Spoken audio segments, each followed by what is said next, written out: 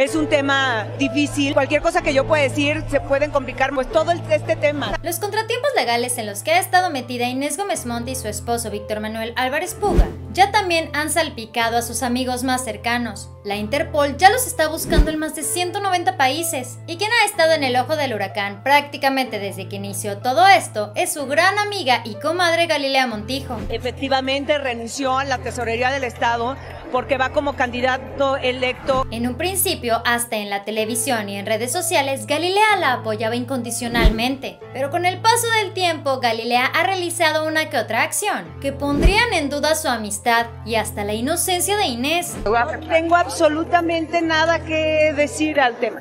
Ahorita ya Galilea le ha dado completamente la espalda a su comadre y gran amiga. ¿Será que todos estos contratiempos legales pueden más que su amistad?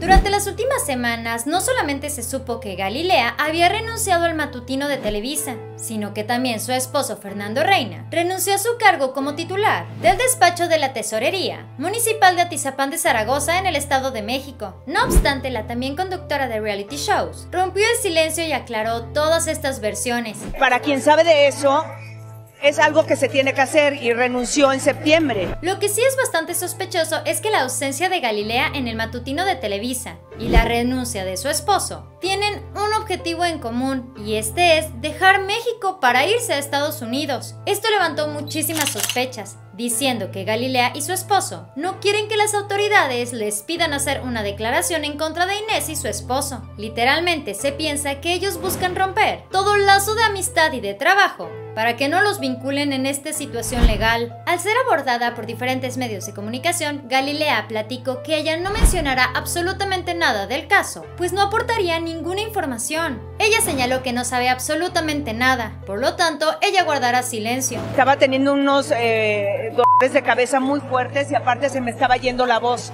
Galilea sí quiso mencionar desde un principio que con todo respeto a los diferentes medios de comunicación, ella no iba a decir nada porque no sabe nada del tema, supuestamente. Lo que sí quiso aclarar es que cuando ella sí dio su opinión en un inicio, los medios como que movieron sus palabras y parecía que ella estaba dando otras versiones. Por lo tanto, si ella no iba a ayudar, pues mejor le convenía quedarse callada. Asimismo, durante la presentación de la nueva máscara para pestañas, de su gran amigo, Alfonso Weistman, Galilea resaltó por qué su esposo tuvo que renunciar a su cargo, asegurando que se convirtió en un diputado suplente de Tonatiu González Case. Finalmente, Galilea quiso aclarar las versiones de que ella había renunciado al matutino hoy. Ella dijo que su ausencia se debe a los diferentes contratiempos de salud que está teniendo, por las secuelas que le dejó su contagio de la enfermedad mundial. Este fue el Muro de la Fama. Dale like a este video, suscríbete y síguenos en Facebook. Pero antes de que te vayas, chécate este video. Espero que tengas un excelente día. Nos vemos muy pronto. Bye.